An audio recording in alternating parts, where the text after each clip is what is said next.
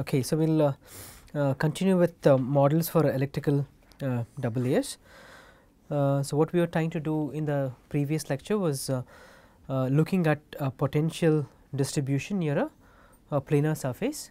We took a one dimensional case that means we were trying to solve one dimensional Poisson equation and this is what the expression is right? And we would like to solve this at the boundary conditions that at x is equal to uh, 0 potential is the poten potential at the surface itself. And at x is equal to infinity the potential is going to be 0 right? The potential would be 0 to infinity because either the concentration of ions at infinity is 0 or it is such that the concentration of positive ions and negative ions is equal such that the overall potential gets cancelled. Okay? That is the reason why at x is equal to infinity uh, psi is going to be 0. Okay? Uh, and we said that if you really want to solve this, I would somehow want to express uh, rho star in terms of psi.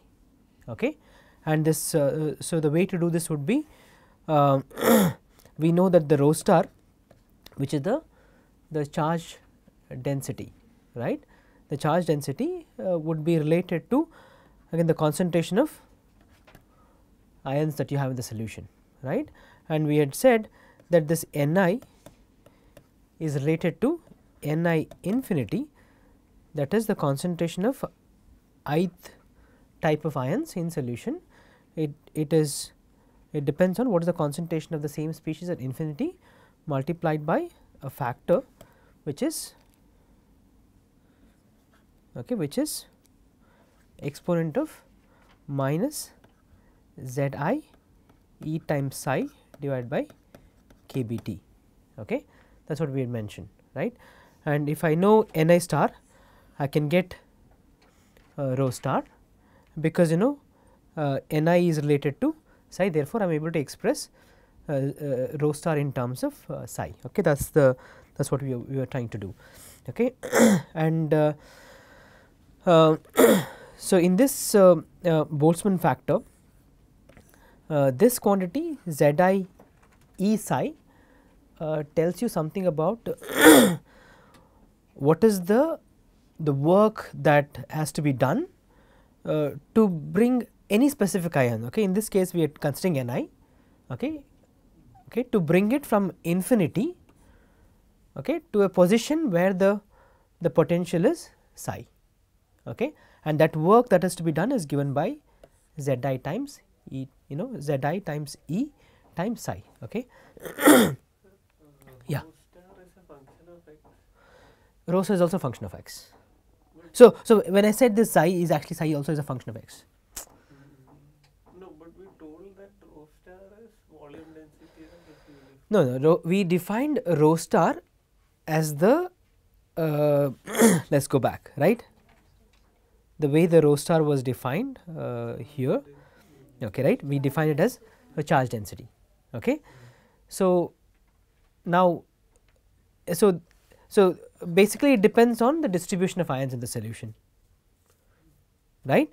If you look at a, if if you look at um, uh, a charged surface okay? Um, we know that the concentration of uh, counter ions in solution if you look at the concentration okay let us go back to this model right. if I look at this model let us take you know a finite volume here and finite volume somewhere there and finite volume some other distance okay at very far away distance okay. Now if you look at uh, you know the fact that you know the the concentration of counter ions is going to be higher here right uh, and if you were to account for the polarity everything okay there will be some um, uh, you know rho star that you can calculate right which basically is the number of ions that you have per unit volume that I am taking right if I take a finite volume. Okay. Uh, however, if I go to a very far uh, if I if I look at you know uh, I mean okay let us say I am taking a similar volume here the fact that you know I have you know both positive and negative and if they are in equal number your rho star is going to be 0 right because you know there is a contribution that, that comes from the the positive ion there is also a contribution that comes from negative ion. So, if you, you can say that overall charge density though though even though it is number mm-hmm. right? I mean this is the total charge per unit volume right? The total this is not the number right? This is not the number density. Mm-hmm. It is the it is the charge density. That means if I have a, a ion whose valency is I okay multiplied by E okay multiplied by the total is is a number as well right the total charge divided by the unit volume right. So, in if I go to a very far away distance uh, the fact that you know you will have a equal probability of finding both positive and negative ions. So, I am going to have a charge density which could be minus Z i times E divided by volume times the number for example and plus Z i times E multiplied by number by volume right therefore, that becomes essentially 0. Okay. So, this is actually rho star is actually spatially varying when you think about um, yeah the total charge in the whole system is going to be uh, yeah electrically neutral okay? Okay so we were talking about the boltzmann factor right? So this essentially tells you what is the the work that is required to bring an ion of a specific type from infinity to uh, so now if you look at this expression right um, uh, so the work that one has to do depends on the local constant what is the local psi okay um, that means we know that you know psi varies in a particular way. If i look at some position here and some position here or some position very very far away for example okay so that means i would have to spend less work to bring an ion to this location. But however if i if i want to go closer to this you know to the charge surface because of the fact that psi is going to be higher psi is going to be highest at the surface uh, that is psi naught okay therefore if i want to move um, any ion to a location much closer to the charge surface i would have to do more work. Okay? And uh, so this quantity essentially tell you what is the probability of finding okay an ion at this position okay at any location that i am looking at okay what is the probability of finding an ion of that type at a particular location is what this quantity essentially gives you okay um, where ni is the the number of ions per unit volume okay? Uh, uh, at any location okay? Need not be near the surface. It at, at any location in the vicinity of the uh, charged surface. And ni infinity is the concentration of uh, ions far away from the surface okay? That is you can think about if i have added if i have taken a charged surface okay? And uh, say it is positive or negatively charged. If i have added say 1 millimolar salt concentration to this solution okay? This ni uh, you know you, ni infinity can be considered as the the bulk concentration okay? It can be considered as a the concentration of the electrolyte that I have added okay? And Zi of course is the valency of the ions. So, depending upon whether you are talking about uh, you know um, uh, monovalent uh, ions or divalent ion you know Zi can be you know okay, plus 1 or minus 1 or plus 2 or minus 2 depending upon you know what kind of ions that you are working with. Okay. Um, so, you can actually think about uh, see this Boltzmann factor right you can actually derive an expression for Boltzmann, factor if you know a little bit about uh, you know uh, uh, chemical equilibria of electrolyte solutions. Okay. So, we know that uh, uh, in solution thermodynamics we talk about chemical equilibrium right mu i which is the the chemical potential Uh, is equal to mu i 0 which is the chemical potential of the species you know of any species or any chemical in the in the standard state right plus R t ln A i okay, where A i is what is called as a activity coefficient. Okay. Now, when you are working with ideal solution you can replace activity coefficient with you know mole fraction or molar concentration of you know ions in solution therefore, mu i becomes mu i naught plus R t ln x i. Okay. Now, the condition for you know uh, a solution to be in thermodynamic equil- equil- equilibrium is that d mu i is going to be 0 right. Therefore, so d d mu i is going to be d of mu i 0 plus d of r t ln x i right and because d mu i uh, 0 is the either is the chemical potential in the standard state okay that is going to be 0 therefore d mu i becomes r t into d because you know I'm, if I am working at the constant temperature I can take R t out right. So, d mu i essentially becomes R t d ln xi. Okay. So, which essentially tells you that and because of the fact that you know this uh, uh, chemical potential has to be 0 therefore, RT d ln xi is equal to 0 or d ln xi is equal to 0 which tells you that you know this ln of xi should be constant which gives you that, that, that xi is equal to xi infinity. That means if for a any solution to be in chemical equilibrium the concentration of species at any location is same as is same everywhere. Okay. That means, if I have a container okay, and uh, like say for example, uh, I, have, I have NaCl for example. Okay. Uh, of course, this is an ionic uh, state, but I you know I can take a mixture of two species for example. Okay. That means, if I go to some location I look at the concentration of uh, say species A and B in one location and if I look at the concentration of A and B in, in another location the concentration here and here is going to be exactly same. Okay. That is what this expression essentially tells you. Okay. That is you know when you talk about chemical equilibrium. Okay. However, in, in what we are looking at is a case where you have charged species as well right. It is you know we should okay when we talk about uh, charged species I have a you can think about you know I have a electrolyte solution okay similar to chemical potential you can define something called as a electrochemical potential okay which is mu e that is the electrochemical potential which is summation of uh, the contribution that comes from the the chemical potential plus an additional term okay? And uh, this additional term in this additional term uh, again Z i is the the valency of the ions. F is what is called as the Faraday constant. And psi is what is called as a local electrostatic potential okay? Um, and this Faraday constant uh, it, it is equal to uh, the charge of the electron multiplied by um, NaV that is NaV is the Avogadro number. Okay. So, therefore, when you talk about electrochemical potential you can you can say that there is for each ionic species in solution okay, there is a an electrochemical potential at any given location. Okay. It depends on you know the constituents of the electrolytes at any given location in the solution there is a electrostatic potential which tells you something about how easy okay, or how difficult it is to add more of that species into the solution at that location.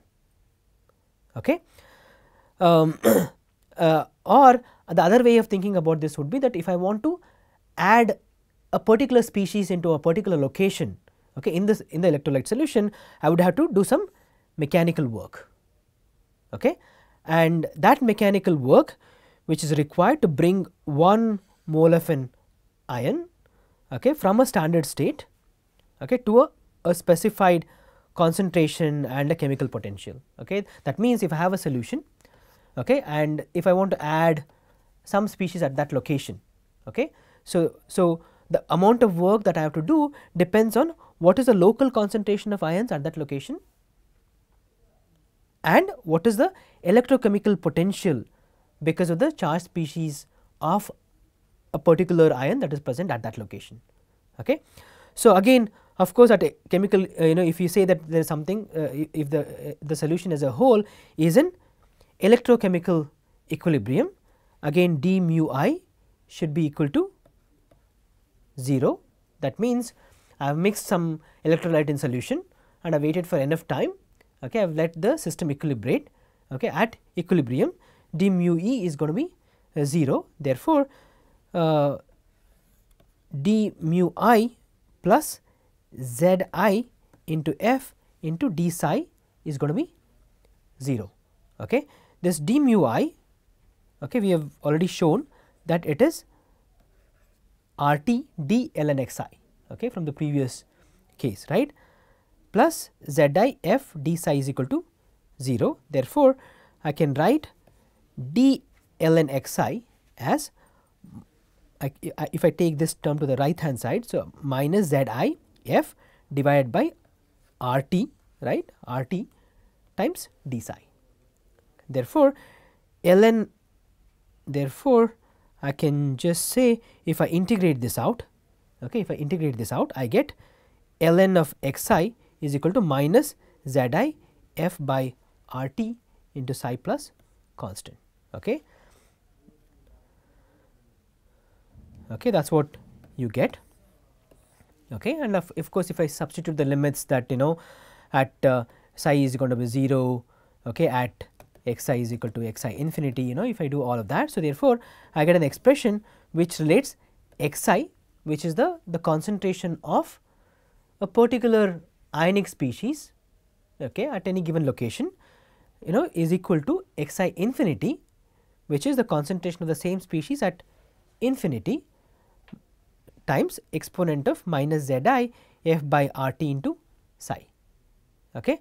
And, and we know that f is E times N A V, okay. we are substituting for f as E times N A V and R t is related to the Boltzmann constant as R is equal to K b times N A V right. So, if I if I replace instead of R if I put N A V times K b this N A V this A V gets cancelled therefore, I have K b t in the denominator and Z i into E is in the numerator therefore, x i essentially is equal to x i infinity into exponent okay, minus of Z i E divided by K b t times psi.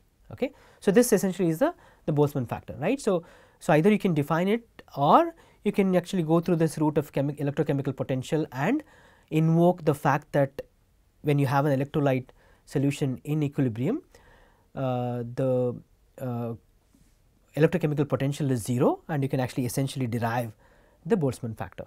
Okay. So, now um, okay, so that is what we have. So, we would like to solve this that is a 1D okay, Poisson equation we would like to solve that. Uh, this rho star okay, is summation of summation z i e n i because you know I would have to you know I could have a uh, you know case where I have a charged species you know uh, it is not necessary that Uh, if, if, I have a charged species I said that you, know, you should always think about counter ions being in solution. Okay. This is the most ideal case right I only have the charged surface and the counter ions which come only because of dissociation of charges on the particle surface. However, in general so, if I have a case like this my rho star is only going to be just Z i E n i that is it. Okay. Uh, in this case uh, the counter ions being negative. So, it is going to be minus 1 times E and n i is going to be the concentration of ions in solution. If I say that there are 100 you know ions for example is going to be multiplied by 100 multiplied by 1 point you know 6 into 10 power minus 19 coulombs okay, divided by the volume of the solution that gives me what is rho star right. This is the, the charge density right the charge per unit volume right that is how you get rho star. But however, in several cases what you will do is you will have counter ions because of the dissociation plus additionally will also add a lot of salt right you know I you will always hear terms like you know I have a, a charge stabilized dispersion I have added 1 millimolar salt to the dispersion or I have added 10, 10 millimolar salt to dispersion right. When you have case like this I would have both co-ions okay, as well as counter ions in solution. Okay. Therefore, if you want to calculate rho star I would have to sum up all the ions present okay, okay, that is summation of Z for example, if I if I have NaCl for example only NaCl then uh, what we are going to have is uh, for Na is going to be plus 1 okay, times E again the concentration if the concentration is say 1 millimolar for example 1 millimolar okay, divided by and of course, you have to convert that to number by using uh, you know Avogadro number and all that, but but anyway uh, plus I am going to have minus 1 that is because of Cl minus plus multiplied by E n i right. So, therefore, this rho star you would have to sum up all the ions present in the solution both co-ions counter ions you could have case where there, there could be multiple you know ions present in the solution okay I would have to sum, sum all of them up. So, therefore, its rho star is given as sigma i z i times E times n i. Okay. Now, z i E I am going to keep it the way it is and for n i I am going to substitute for the Boltzmann factor Okay. And because E and epsilon, okay, I'm, if I am working if I am working with uh, a particular solution, right. I mean, if the dielectric constant, you know, if the medium that you are using is like say for example, water, you know, at a particular conditions, I can, you know, your epsilon is essentially going to be constant. So, I can take minus E uh, divided by epsilon out, uh, sigma, I have Z i, okay, I have n i infinity exponent minus Z i E psi divided by k b t. Okay. This expression is what is called a Poisson-Boltzmann equation okay, because we started with a, a Poisson equation okay, we started with the Poisson equation and then we use a, a Boltzmann factor okay, uh, you know and then we obtain an expression for how does the potential vary as a function of you know a differential equation okay, that counts the variation of the potential as a function of separation distance. Okay. That is what is called as a, uh, a Poisson Boltzmann equation. Okay.